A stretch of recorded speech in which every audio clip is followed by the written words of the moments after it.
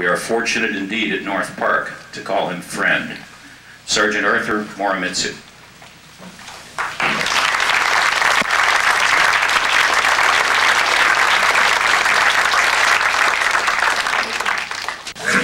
In early spring of 1942, during the cru crucial battle for Guadalcanal in the South Pacific, the Army found that there were a dozen Japanese Americans serving with them. They found that they were familiar with the very difficult Japanese language, so they were put to work questioning Japanese prisoners, translating captured documents. The Army found that they were very valuable, so they sent word to Washington for more Japanese Americans. They found that all those living on the west coast state of California, Oregon, and Washington were all behind barbed wires. And that was, that's where I was when the recruiting team came to Tule Lake Center, uh, border of California and Oregon. I had never been to Japan or had gone to Japanese school, but the Army seemed very desperate, so I volunteered to go. I'm a graduate of Berkeley, California, uh, which in those days was rated one of the finest universities. But this, this uh, crash course that I went to was the most difficult school I ever attended. It's not just uh, trying to learn the Japanese language, it included uh, Japanese uh, military terminology, geography, everything concerning the Japanese military. But uh, I finally survived, and after graduation, our 15-man team was sent to the North Burma campaign. We're attached to the 124th Cavalry Regiment, dismounted cavalry from Texas, which joined with the 475th Infantry Regiment and a Chinese regiment. This became the Mars Task Force, the commander group. Our mission was to go behind, deep behind enemy lines along the Burma Road, cut off the supply and reinforcements. Uh, during the well, just before the uh, uh, one-month forced march, our unit met, and I remember one Texan asking the officer, if we're captured, we just give a name, rank, and serial number. This is a standard procedure, basic training. You know, officer said, heck no, he said, they know all about us, just don't give the deployment of the troops. Likewise, we knew about the Japanese enemy. We knew the, uh, this of battle gives the names of the uh, units, the commander, and so forth. We just didn't know the uh, capability or their battle plan. Well, incidentally, before we started the one-month force march, our, the Texans were short of manpower, so they told me to take care of one of the mules, pack mules. I've never been near a mule before. well, this is typical Army. well, uh, we finally, uh, during, after about one month, we finally uh, made contact with the enemy a place called Nampaka. It's up, well, Burma is really one of the most difficult terrain. Anyway, the night of, night of the, bang, I mean, the battle, uh, the brass came to our dugout, and our team leader, he, he was a former instructor, Camp Savage. Uh, he went through all the documents brought in by the Texans, and at first glance looked like an overwhelming force before, before us. But he reasoned out, comparing with the order of battle, that they mostly were stragglers, so the brass felt a lot better. Now, in um, most areas, uh, there were very few Japanese prisoners. The reason was this. When the Japanese soldiers, sailors uh, left for overseas, even the families, own family tell them, don't come back if you're captured. Anyway, uh, during the battle, uh, uh, our team leader, name is Tagami. We went to the field hospital where one Japanese prisoner, badly wounded, was brought in.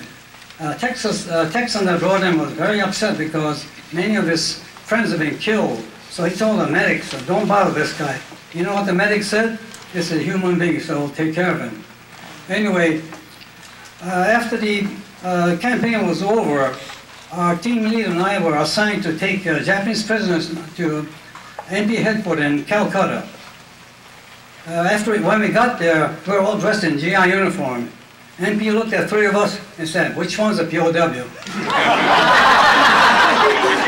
and uh, uh, we went, we, we went to uh, New Delhi, and I was assigned to the Office of Strategic Service, OSS, which is now called the CIA. I had three men under me, and we, And our job was to interrogate Japanese prisoners. There were a bunch of other teams doing the same thing. This was in preparation for the invasion of Japan. Uh, one day, uh, one of the OSS officers wanted me to go with them to see, uh, question some Japanese women prisoners. They, they were nurses captured, they were wounded. So I went to this uh, British hospital, and after talking for a while, uh, officer said, asked them if they want to go to the United States. They all said, yes, yes, you know. Then they said, you have to marry one of us. And they all said, oh, no, no. uh, evidently, women felt the same as the men.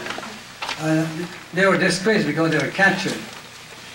Well, anyway, uh, in retrospect, I was thinking about the time that the Army put us all in the camps uh, because they didn't trust us. 33,000 Japanese Americans served with the 442nd in Europe. 6,000 served in the Pacific. And uh, ones in the Pacific, uh, of course I'm familiar with them. Uh, General MacArthur had over 1,000 serving at Brisbane, head, uh, that is headquartered in Australia. And they, they were, um, they were deciphering, translating all these different uh, captured documents and resulting in some of the major naval victory. And I remember uh, during the bloody battle for uh, Okinawa, uh, there's one instance where the uh, army found out that the Japanese troops were going underground in the caves, and then after the Americans passed by, they'll come and attack from behind. So now they wanted the MIS people to start getting these uh, soldiers out of there. And these language men found out there are a lot of Okinawa civilians hiding in the dugout, I mean a cave. They've been told by the Japanese soldiers that Americans would rape the women, torture them, and so forth.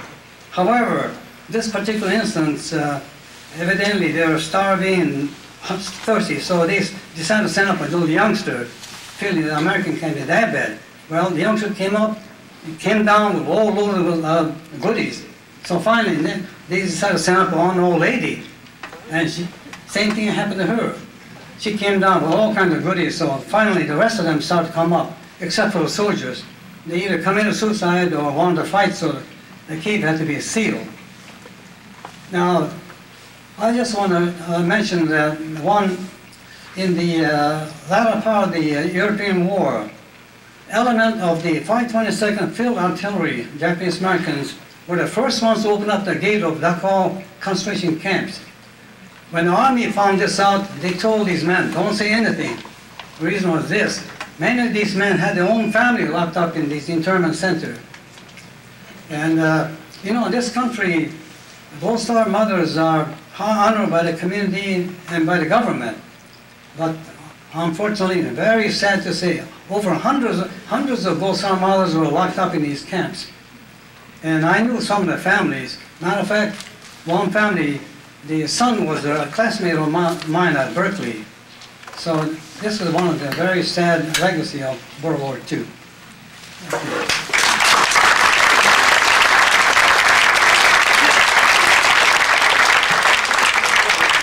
Ladies and gentlemen, uh, if anyone has a question for Art Morimitsu, please uh, ask it now. Art, uh, did you say, was that Dachau? The, the 522nd opened? Field artillery. Yes. Oh, yes. I understand the, uh, the very number of Jewish organizations, still of Israel, honor these soldiers after they found this out. This was kept, matter of fact, even the uh, MIS story was kept quiet for the longest time, especially during wartime. They didn't want the Japanese uh, army to find out.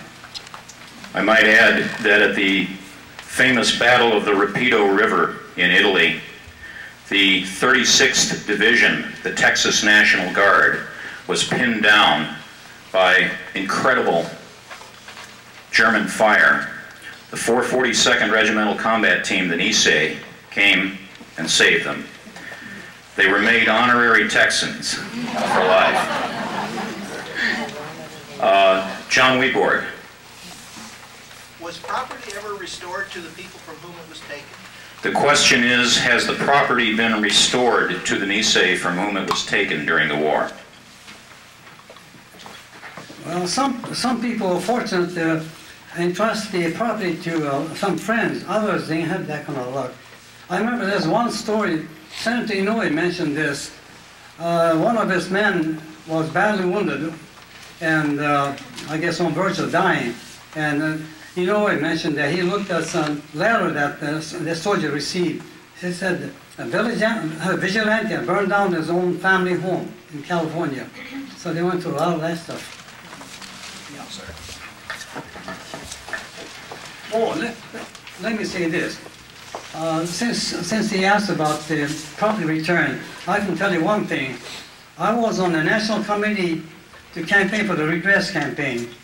And because of the strong, tremendous support from American Legion, Veterans of the Foreign Wars, and the 34th Infantry Division, they fought off all those anti-redress, uh, we had some group that attacked us. But have 5 million national, I mean, American Legion, they support us. So members of Congress obeyed what they, what they had to do, you know. See, the American Legion veterans, they didn't, they're not worried about the loss of property, but taking away constitu- constitutional right, that was a no-no for them.